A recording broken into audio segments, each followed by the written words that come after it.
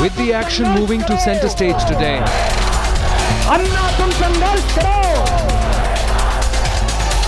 The Ramlila Maidan.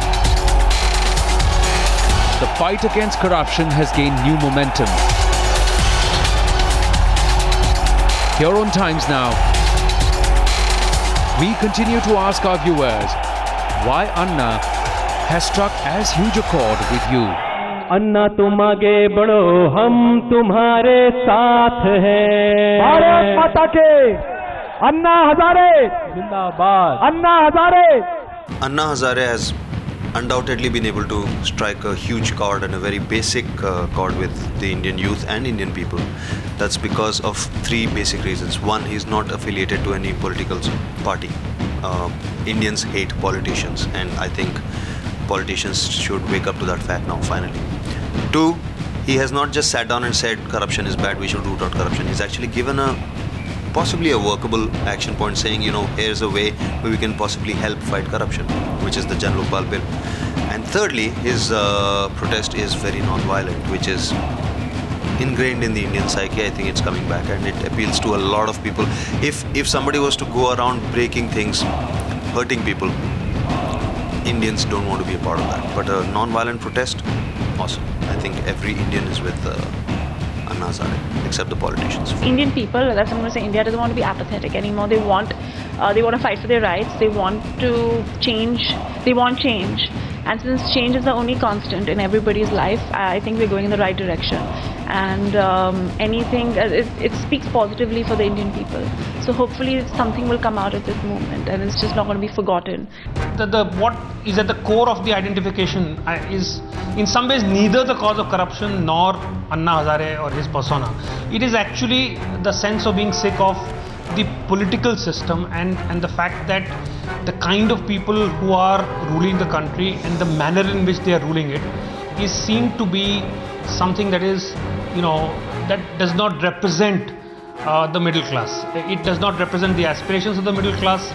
It does not you know speak to the growing sense of power and assertiveness that the middle class feels so there is a disconnect that that is taking place between the middle class and the way it sees itself and and then when it looks at its leaders and it finds them unworthy of of being people who can lead them and i think it's this this disconnect and this disgust at a certain level for the kind of political system that has evolved so at a certain level this is an this is a, a rejection of the political system that has taken the form of an anti-corruption movement which in turn has found leadership in, in the very unlikely persona of Anna Hazare. But the core is neither really Anna Hazare nor really uh, corruption itself. It is, a, it is a larger disdain and disgust with the existing political system.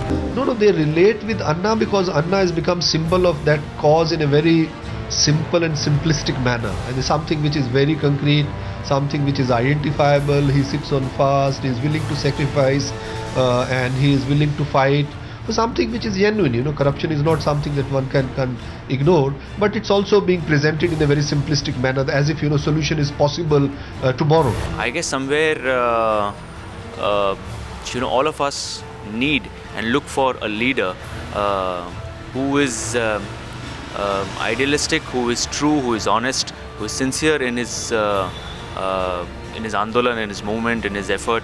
Um, so obviously, uh, and who has got a lot of credibility. Um, so obviously, this is one factor which all of us connected to um, with Annaji. Uh, most of all, credibility, definitely, uh, and his sincerity. Uh, and he's been doing it for a lot of years. It's just that uh, you know we took some time to wake up uh, to this cause, but I guess finally we have, and thank God we have. And I'm just uh, happy for the fact that uh, somewhere, uh, as the countrymen, as the citizens of this country, and as Indians, all of us have come together for a common cause because, as I said, we're just fed up with this government and the corruption. I do know that people do not know what the Lokpal bill is largely.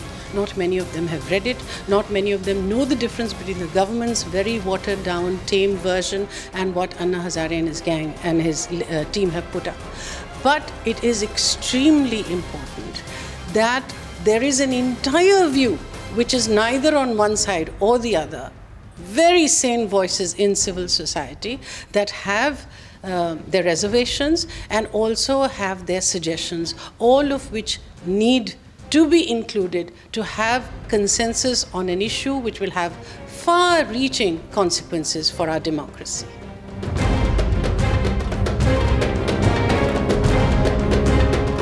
When Anna Hazare comes up, came up with this whole business of an anti-corruption Lokpal bill, it wasn't the Lokpal bill. I don't think even too many people bothered about what were the issues that were contentious which the government didn't want in the Lokpal bill. I think what really symbolized the whole thing and catharticized the whole thing was Anna Hazare himself, a little man from Maharashtra who very few people knew about six months ago, who suddenly came up and said, I have no agenda except one agenda, which is that we must have the will to tackle corruption. And I found that that found a tremendous echo and found a tremendous empathy in everybody in this country. Everybody, it's north, south, east, west, it doesn't matter who you are.